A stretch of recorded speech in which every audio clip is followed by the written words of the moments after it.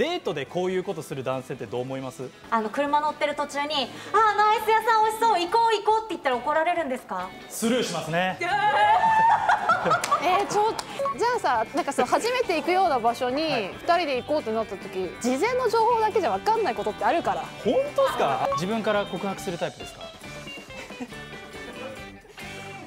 さあジッププラ ス3よし何ですかそれ？始まりました始まりました。あよしよし。シッププラス3しゃ。始まった。めったにない機会ですからね。もう気合い入れてきますよもあすごい。なんかこういうこういう入りする人あんまりいないから。ちょう苦手？苦手？ですかっと苦手かも ちょっとやめてくださいそうそうそうそんなことない。すいませんすいません、はいお願いします。お願いします。さあ今週今週じゃないな。今日も、はいあの視聴者の方から質問をいただいておりますので、はい。答えていきたいとありがとう思います。ございます。よろしくお願いいたします。ありがとうございます。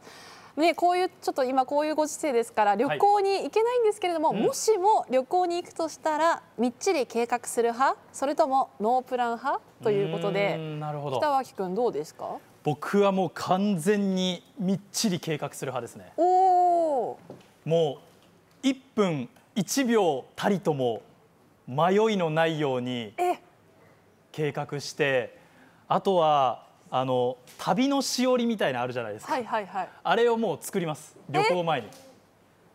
おえ友達とかと行く時も？あの大学時代に日本を一周する旅行はいはを3年生の頃だったかな、大学生っぽくていいねそれ。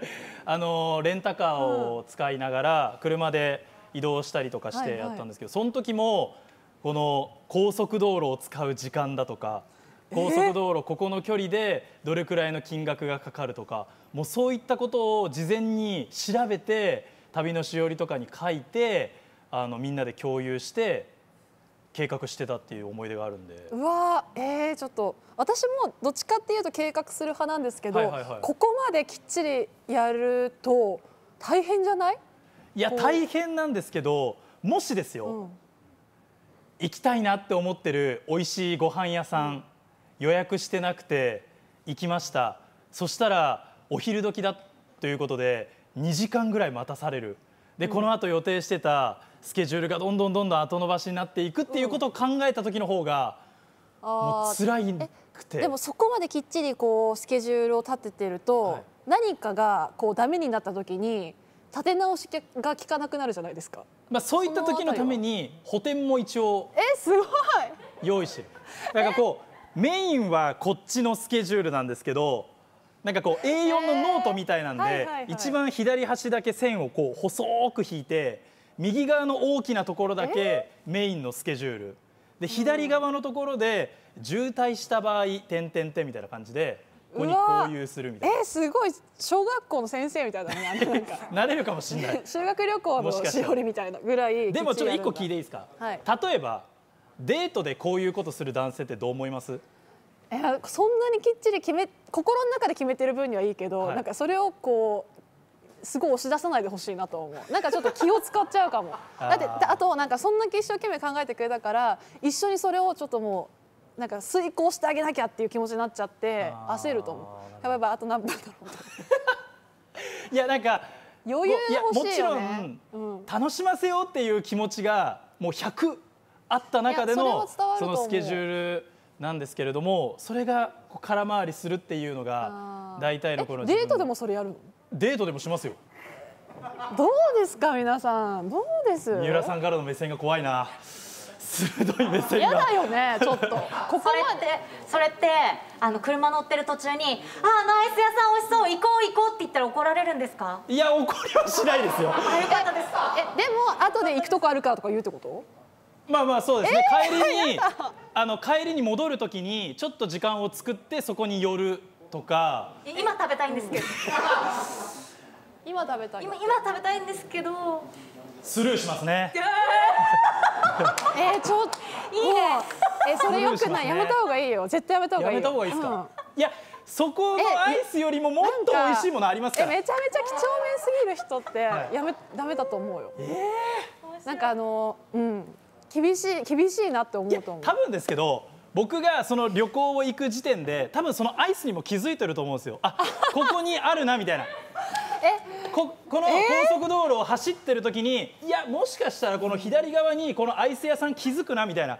美味しいのがあるなみたいなのをもう事前に察知してるから多分そういうのはないっす。じゃあさなんかそう初めて行くような場所にはい2人で行こうってなった時はいはいってその全部知らないじゃんそんな。初めて行く場所ですか、ん。いやもうだからもう事前にリサーチしまくりますよ。事前の情報だけじゃ分かんないことってあるから。本当ですか？あるよ。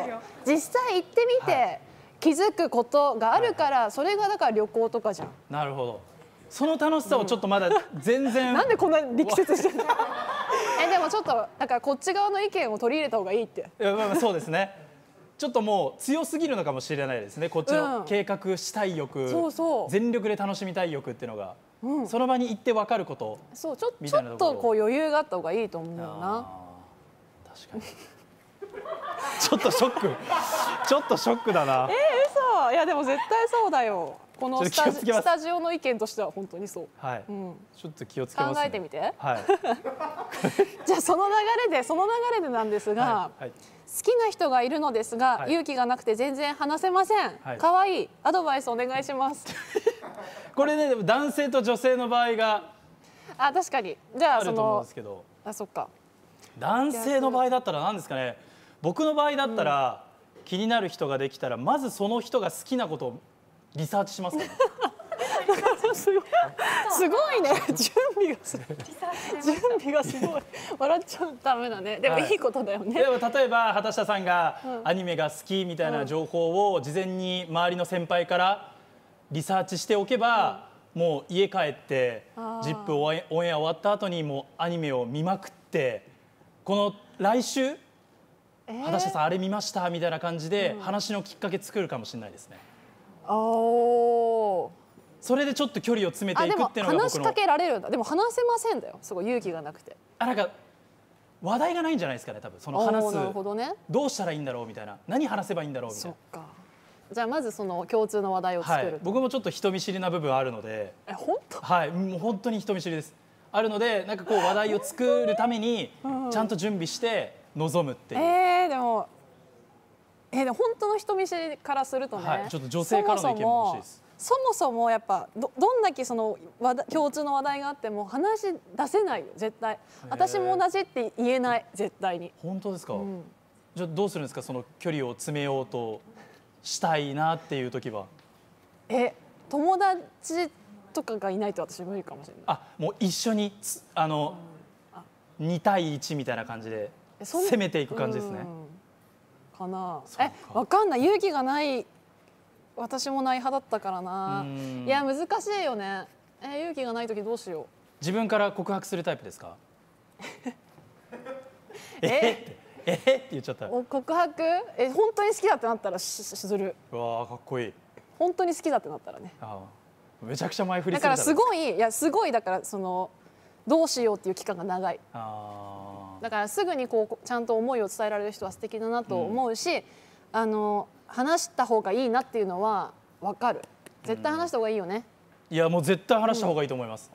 まあそのためには絶対準備は必要です。うん、話しかけられてあそうね。絶対準備。確かに。準備をして、話しかけるのがいいと北脇君はい、がはい、もう言ってます、何事にも準備が必要だと思います。そうだね、はい、リサーチが大事です。軽くあしらわれましたけど今。い、やでもちょっとその旅行は考えた方がいい、ね、旅行はちょっと考え旅行とデートは考えた方がいい先輩とねまたこうコロナが落ち着いた時に旅行する時はぜひ計画させてくださいね。確かにこう先輩後輩とかだとすごいありがたいタイプはい、だけどね、はいもうしっかり計画させていただきます。ということで準備万端準準備がしっかりできる北脇君とお送りしましたありがとうございました以上ジッププラス3失礼でしでしたた。リサーチ北脇って呼ぶわこれは。